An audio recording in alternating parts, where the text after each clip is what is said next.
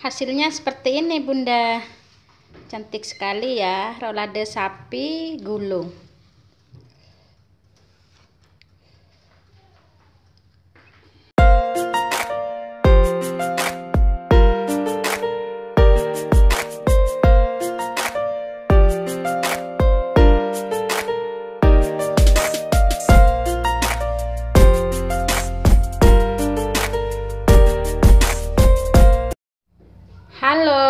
selamat pagi Bunda.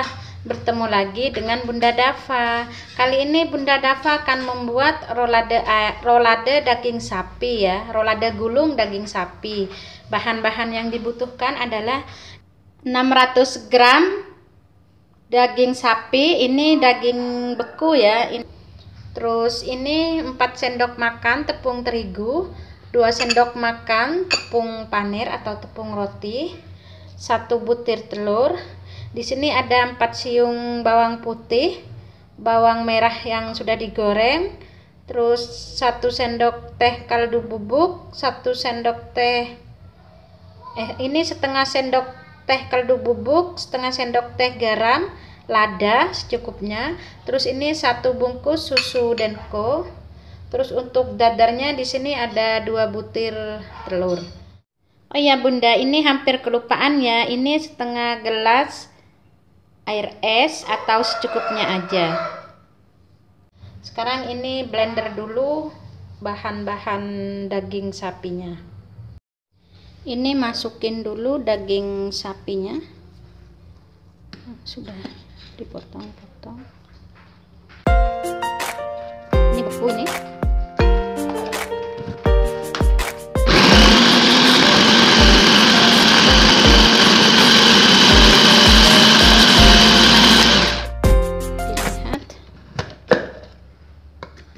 Sudah ini langsung ini masukin bumbu-bumbunya.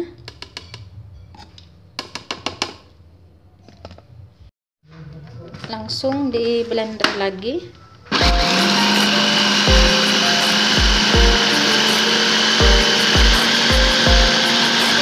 Langsung ini masukin telur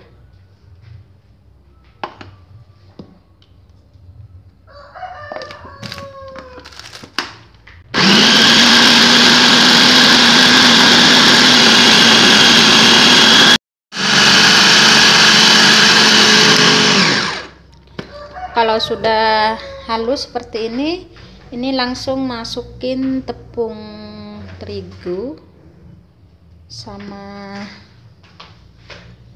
susu bubuk ya. Ini tepung panir juga masukin tepung roti. Kalau ini dirasa kurang ini kasih air es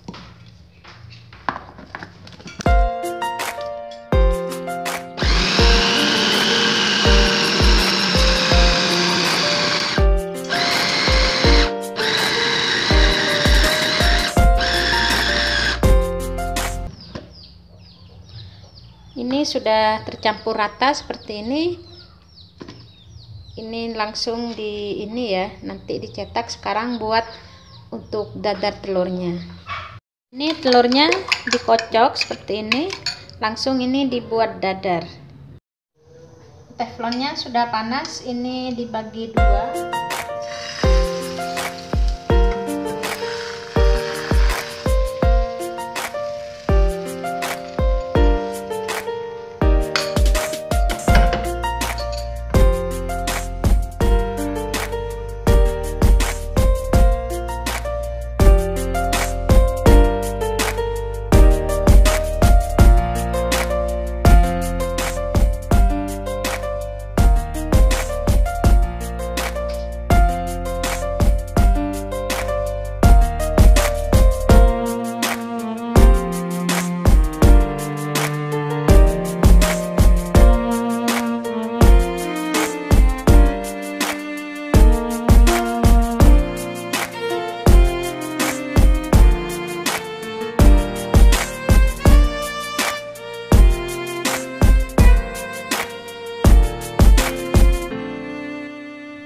ini sudah rata semua seperti ini langsung ini digulung.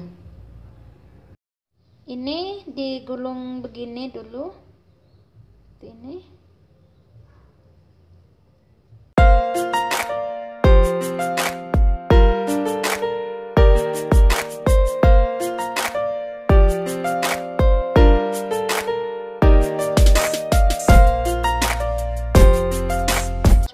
selesai seperti ini langsung dibungkus. Ini daunnya sudah di ini ya dipanggang di atas api digini-ginikan udah jadi lentur seperti ini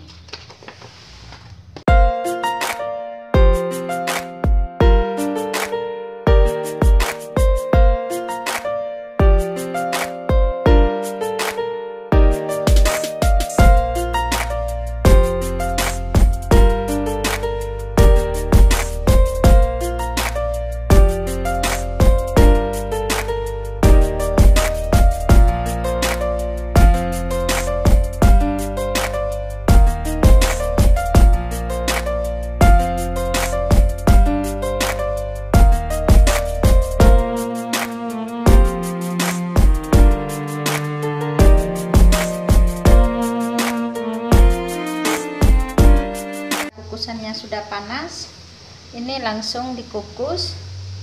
Kukus selama berapa ya? 20 menit mungkin sudah matang ya 20 menit. Kukus selama 20 menit. Ini sudah 20 menit. Sudah matang. Ini langsung diangkat dan didinginkan sudah dingin langsung dibuka terus digoreng.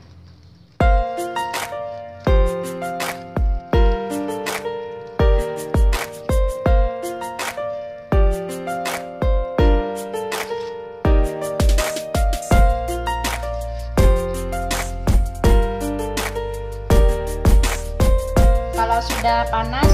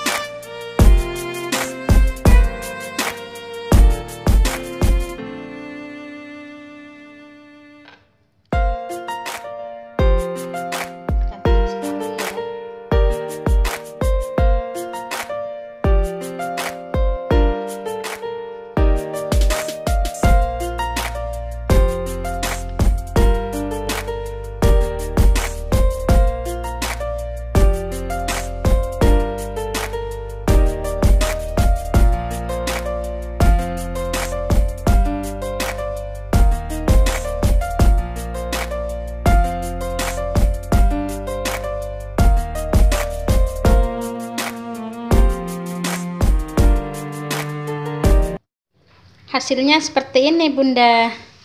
Cantik sekali ya rolade sapi gulung